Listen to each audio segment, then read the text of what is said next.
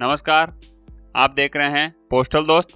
आज की इस वीडियो में मैं बात करूँगा पोस्ट ऑफ़िस के सेविंग अकाउंट में ब्याज की कैलकुलेशन कैसे होती है, किस प्रकार से आपकी जमा राशि पर आपको ब्याज मिलता है। इस वीडियो में पोस्ट ऑफ़िस के इंटरेस्ट के क्या क्या नियम हैं, इंटरेस्ट की कैलकुलेशन कैसे होती है, उसके बाद में हम बात करेंगे आईबीबी क्या होता है और एक एग्ज़ाम्पल के द्वारा मैं आपको इंटरेस्ट कैलकुलेट करना भी बताऊँगा। और सबसे अंत में आपको इंटरेस्ट कैलकुलेटर जो कि एक एक्सेल सीट में है, आपको बताऊँगा कि कहाँ से वो डाउनलोड होगा और कैसे आप उसको अपने लिए काम में ले सकते हैं। सबसे पहले बात करते हैं इंटरेस्ट रूल्स पोस्ट ऑफ़िस के बचत खाते के लिए ब्याज के क्या क्या नियम हैं। पोस्ट ऑफ़िस के बचत खाते के अंदर ब्याज हर साल 31 मार्च को कैलकुलेट किया जाता है। और आपके खाते के अंदर उसकी एंट्री भी कर दी जाती है। इंटरेस्ट कैलकुलेट करने के लिए आईबीबी हर महीने ली जाती है। महीने की 10 तारीख से लेकर लास्ट तारीख तक आपका बैलेंस यदि 500 से नीचे चला जाता है तो उस महीने की आईबीबी ज़ीरो मानी जाती है। उस अमाउंट को ब्याज के लिए कैलकुलेट नहीं किया जाता है।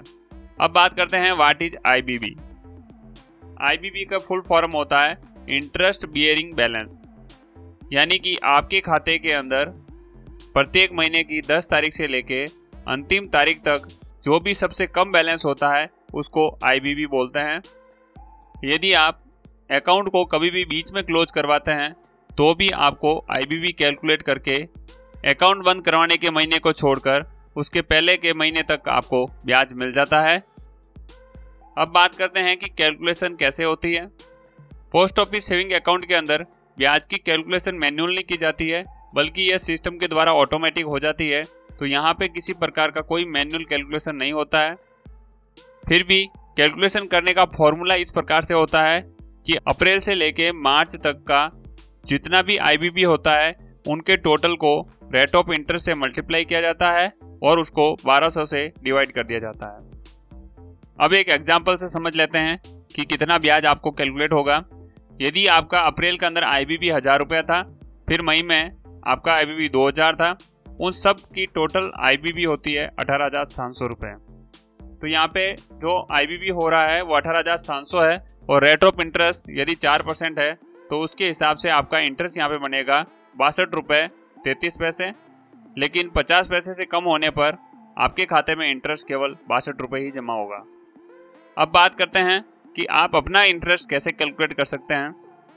इसके लिए आपको वीडियो के डिस्क्रिप्शन के अंदर एक गूगल ड्राइव का लिंक मिल जाएगा, जहाँ से आप इस एक्सेल कैलकुलेटर को डाउनलोड कर सकते हैं। वहाँ पे आपको प्रत्येक महीने का आईबीबी एंटर करना है तो वहाँ पर टोटल ऑटोमेटिक हो जाएगा और आपका ब्याज भी ऑटोमेटिक आपको शो कर देगा। अगर आप चैनल पर नए हैं तो चैनल को सब्सक्राइब ज़रूर करें। तो आशा करता हूँ वीडियो आपको पसंद आया होगा। वीडियो को लाइक करें और अपने दोस्तों के साथ में शेयर करें। नमस्कार।